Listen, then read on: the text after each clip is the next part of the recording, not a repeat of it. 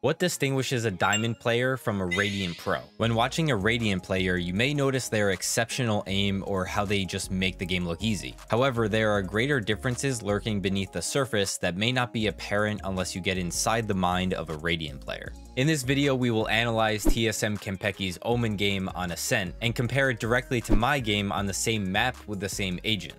This will provide us with a better understanding of what separates a Radiant Pro player versus your typical Diamond player. I'm chilling. Let's get into it.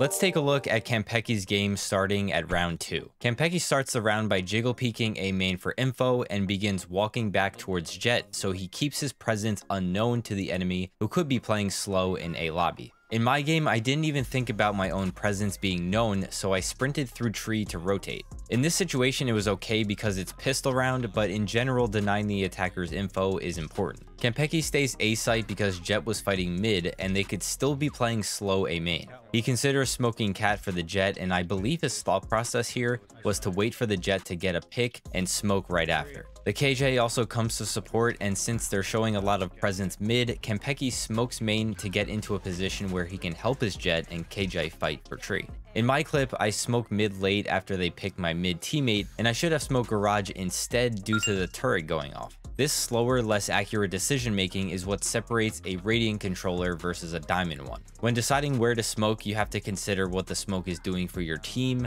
how it's affecting the enemies, and the timing of the smoke. Halfway through this round, Kanpeki hears a heavy mid push and then decides to use this powerful one way at door and tries to get his Killjoy to play stairs so they can take advantage of the one way as mid attackers scale through market. Unfortunately, they play too passive and the one way is wasted. So if you're ever upset that you call play for your teammates who don't listen, don't worry, it still happens in high Radiant lobbies. But when comparing this again to my clip on round 9, instead of smoking mid late, I could have 1. Smoke garage due to the turret going off, and two, thrown the same one-way smoke market. This would have taken some of the pressure off of my B teammates and allowed me to rotate towards them. In round 6, Kanpeki is playing tree with teammates since the attackers have primarily been taking mid and B. They surprise them by going A main, so Kanpeki decides to blind the push as they head sight, and you'll notice that he blinds the Jett. In my VOD, I had an opportunity to flash A to take sight and was worried about blinding my teammate. Even though it seems counterintuitive, your teammates will sometimes become collateral damage when using abilities if the potential reward of the ability can help win the round. In Kanpeki's situation, it's even less of an issue because he counter blinds right after the enemy blinds them.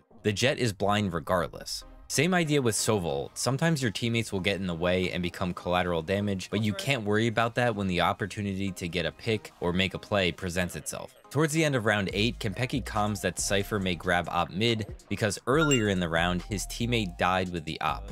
Marshall, you might on the op cat. Kanpeki has the awareness of what the enemy's win condition is. In this case, Kanpeki thinks that the Cypher will most likely use the op to save for next round. This changes when the Cypher gets a pick and switches to a Vandal.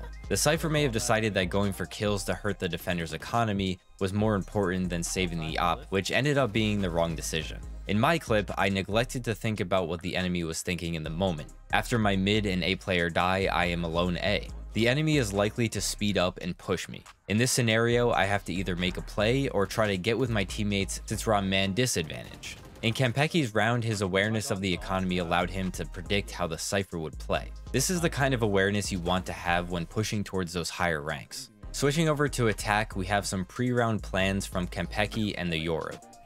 I'm gonna TP hell, send my clone in, flash out, TP hell, and then you guys can go in. Down to dodge the uh, knife. I'll flash Jin. Having those plans goes a long way in comp, and it's always good to have some plan going into an attack round. Kanpeki calls his plan of smoking door in heaven while blinding Jen for the Jett to dash. This is a very common Omen execute on A, and it can be very effective. Then he plays in Hell to jump classic right click. Notice how fast the execute is here. They basically take A main for free and clear sight in a matter of seconds. If you're not fast enough on pistol round sight executes, you could be giving the defenders a chance to flood out as you're attempting the plant and lose the round. The comms are also on point and spoken with urgency so the teammates react as quickly as possible to them. I want to show this clip where we actually have similar site entries. We took space with speed and good timing off the blind and Jett dash, allowing us to get two picks and take the site completely. On round 22, Kanpeki and his team do a similar play that my team attempted. Here are some of the similarities and differences that make Kanpeki's lurk more correct than my attempt. Each attack round has either been a B or A 5-man push, and there hasn't been a lurk mid, making the lurk on this round more unexpected. We both smoke mid, which tells the enemy there's a potential A split coming. Both our teammates are making noise and showing presence A. Okay, so now for the differences. Since Kanpeki's team has a Sova, they can use a default recon dart for showing presence in mid. In my game, we didn't have a Sova for recon, so my flash becomes more valuable on site executes, which makes lurking right now detrimental to the site execute. We also didn't have a player on B, so I would have had to be wary of the B player pushing out of a garage, and the Cubby player peeking Cat. Kanpeki is less worried about the push out of B since the Yoru is there and his smoke allows him to focus on the peak from mid Cubby. He uses the elevated edge of Cat as an off angle to walk up. Now he positions himself in this spot right behind the box stack in mid. This is a great lurk position as you can get a lot of info on enemy rotations informing your teammates of this information. Unfortunately, the enemy Omen walks out Cat and catches Kanpeki off guard. Now, according to Kanpeki, he regularly gets stream sniped, which isn't surprising, and the Omen looking at this position is pretty uncommon, especially since Kanpeki never lurked mid this half. Regardless, the idea to lurk this round made sense, and this is a clear example of the difference between my decision making and his. During this round, Kanpeki throws a one-way smoke door, which makes it almost impossible for enemies to come out unless they have a flash. He routes to hell and flashes heaven while playing off a teammate's Sova dart, which if the enemy gets blinded, they can't shoot, potentially allowing for a wall bang from Kanpeki through hell. This play allows him to take control of heaven and hold an angle on Jett. When you look at my clip, it's a slightly different scenario, but we do the same 5-man A execute. Since I'm a little late, I can't help my teammates with the blind.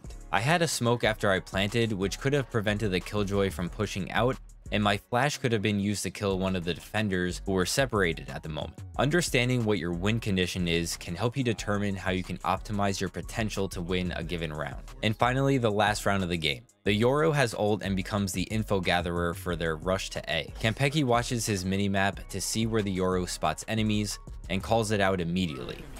One site.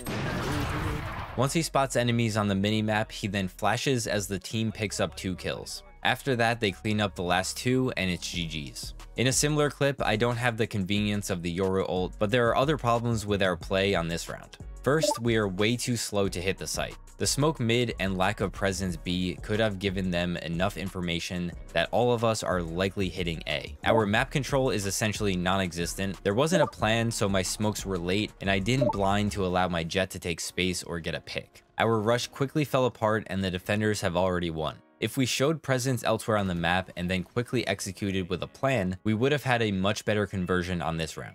And that's going to be it for this one. If you enjoyed the video, drop a like and let me know in the comments what you'd like to see from me next. Subscribe for more guides and check out this one next for more. Thank you guys for watching and I'll see you in the next one. Peace.